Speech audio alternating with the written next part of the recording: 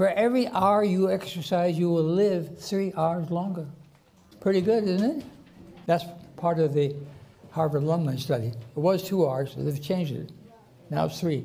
Being lean has only an advantage if you're exercising. Two lean men, both normal weight and everything. One exercises, the other doesn't. The one who exercises has only half the risk of dying. So being lean is not going to do you any good unless you're lean because you exercise. And a obese woman who exercises outlives the normal weight woman who doesn't exercise. Two lean people, one exercises, the other doesn't. Only thing that helps you in being lean is if you exercise.